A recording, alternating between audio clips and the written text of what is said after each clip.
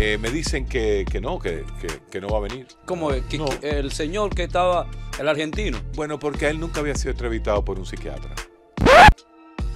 Bendiciones a toda nuestra audiencia de Life Radio RD. Bienvenidos a una nueva entrega de Noticias con Vida. En el día de hoy vamos a tener un comentario acerca de un debate que pasó entre el doctor Guerrero Heredia, quien realiza un programa eh, en una estación local de República Dominicana, y el escritor de origen argentino, Agustín Laje, quien fue invitado al país para hablar sobre el tema de las tres causales. Recuerden que Laje es un escritor conocido eh, que su cuenta de YouTube oscila alrededor del, del millón de personas, casi aproximadamente, y es un defensor pro vida. El psiquiatra, que básicamente es el tema que aparece en este video, un psiquiatra ateo termina un debate con Agustín Laje citando la Biblia. Ah, cogió miedo. Sí. Recuerden que por asuntos de copyright vamos solamente a poder pasar varios fragmentos por asuntos de derecho de autor.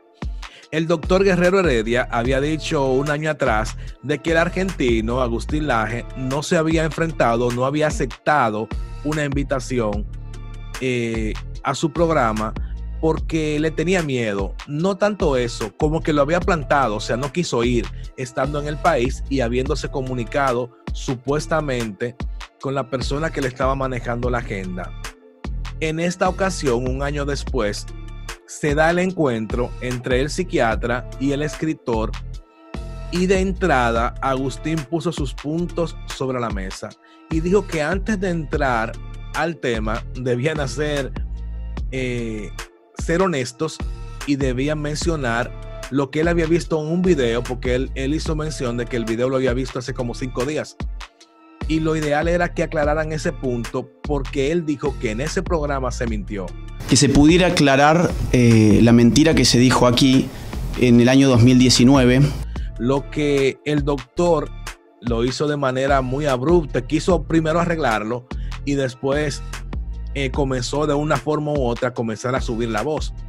El argentino planteaba de que tú no puedes, eh, por asuntos de rating o que es antiético, tú engañar tu audiencia diciéndole que un invitado va sin haberlo contactado, sin haber agendado la entrevista y sin haber tenido todo puntualizado. Él anduvo con muchos rodeos, pero de una forma u otra quiso decir que el motivo de que él estuviera ese día en esa entrevista era por ello, Justamente una de las razones por las que tú estás aquí. cosa que no era así. En el transcurso de la entrevista se, se dieron varios, de, varios enfrentamientos eh, entre Agustín y el doctor, porque básicamente el doctor nunca permitió que él pudiera expresar las ideas que tenía para aclarar cada una de sus preguntas. Chomsky. No puedo hablar, señor. Usted, usted es una máquina de interrumpir y además de usar falacias. Máquina. porque en cada intervención siempre de forma abrupta era interrumpido. Hubo una ocasión que dijo que eran dos contra uno, porque inclusive en la primera entrevista que se pasó en el 2019, esa misma persona había dicho que él cogió miedo Ah, cogió miedo. Sí.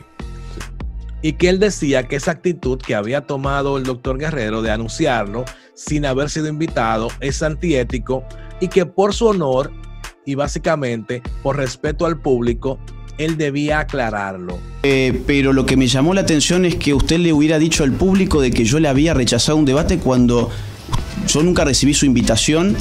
Ese, en ese contexto se basó básicamente la entrevista que tuvieron el doctor Guerrero y Agustín Laje, no entrevista, por- un debate que se supuestamente era no de carácter religioso, sino de carácter eh, científico, de carácter filosófico, porque esa es la tendencia inclusive del programa y del doctor. Siempre de una forma u otra él atacaba a Agustín diciendo que le gustaba debatir con las mujeres por el hecho de que siempre, eh, cada vez que la hoy senadora de la República, Farida Raful, eh, emite cualquier tipo de comentario que tenga que ver con las tres causales en una u otra forma a través de la red social Twitter, siempre Agustín le responde y más bien también en los programas donde se ha presentado que Faride le ha tocado la oportunidad de coincidir o que han sido invitados, han tenido siempre ese debate, debates que básicamente se han tornado virales en las redes sociales. En esta ocasión pasó lo mismo y eso motivó al doctor a decir que básicamente él le gustaba debatir con mujeres por decir que él lo había plantado, cosa que no era así. Dentro de la calorada discusión, un, un punto que fue muy, muy candente fue el hecho de una pregunta que hizo Heredia refiriéndose a, a si él estaba de acuerdo a la causa de los médicos. Y él decía que el Código Penal Dominicano, en un artículo que ha sido recién aprobado, dice que si, si el médico trabaja de forma efectiva, tratando de, que, de hacer lo posible para salvar ambas vidas, pero que se ve en la obligación de solamente salvar la vida de la madre, no va a tener repercusiones legales por el hecho, por entender de que agotó todos los mecanismos correspondientes y así lo, lo dice el Código Penal Dominicano. Agustín decía que no tenía sentido hacerle tantas preguntas de algo que el doctor en realidad no manejaba y que no era desde el punto de vista filosófico, sino desde el punto de vista jurídico. Pero aún así le explicó que era solamente una causal, o sea, esa era la primera, la causal número uno, no la tercera como así el doctor decía. Pero el doctor tratando de conseguir algo, dijo que se sentía feliz por, por hacerle mención a Agustín que él no había leído la Biblia y trajo a, relación un, un, video de una intervención que él tuvo en un congreso, en una actividad, donde él hablaba de la evolución de la lengua. Y en ese contexto, el doctor dijo que él no, que él no, no creía en la Biblia, que no había leído la Biblia. Y automáticamente le dijo que no, que él no había leído la Biblia. Yo no he leído la Biblia, pero tú no has leído el Código Penal de tu país. Yo no he leído, la, Biblia. Usted no ha leído el Código Penal de su propio país. es un honor para mí y ahí se pasó el debate. Eh, cabe destacar que el doctor Guerrero Heredia alzó muchas veces la voz, dijo muchas cosas eh, fuera de contexto y no tenía básicamente, tuvo que manejarse de forma mal educada para tratar de argumentar lo que él estaba exponiendo e incluso trató de, de minimizar la formación académica de Agustín y decir que él había estudiado en Estados Unidos, que él había estudiado en aquí allá, y sobre todo que, él de, que Agustín debía seguir los tweets que él había estado dando en el programa y Agustín lo, lo debatió diciéndole que yo no te tengo agregado y no puedo seguir 24 horas al doctor Guerrero por un Twitter para saber qué hace o qué no hace, que apenas hace cinco días que conoce de él y que no sabía exactamente lo que había pasado. Da pena que una persona tan profesional como el doctor Héctor Guerrero Heredia y con tanta formación académica como él lo dijo en varias ocasiones en la entrevista, tuviera que caer en subir eh, los tonos de la voz, los decibeles, demasiado para tratar de mostrar que tenía razón o argumentar lo que él estaba diciendo. Es un asunto penoso, inclusive eh, a uno le da hasta vergüenza ajena cuando tú ves ese tipo de debates y este tipo de actitudes y tener que, hacer mención a sus logros personales y a su egocentrismo para poder salir del hoyo en que se encontraba, porque en realidad, pues Agustín es un caballero y siempre se mantuvo su postura. Y no sobre todo eso, siempre eh, dijo las cosas como tenía que decirle, le dijo mentiroso, le dijo egocéntrico y le dijo dos o tres cosas más que iban surgiendo porque decía, tú puedes decir lo que tú digas, pero tú le mentiste al público, tú, le, tú eres antiético, también le dijo antiético, por entender de que este usó su nombre sin haberlo invitado solamente para subir los ratings.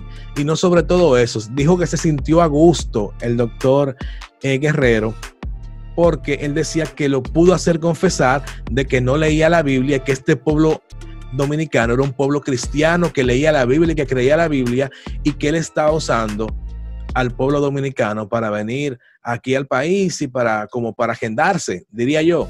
Que tú le debes explicar. dígame qué debo explicar. Es que tú no has leído la Biblia.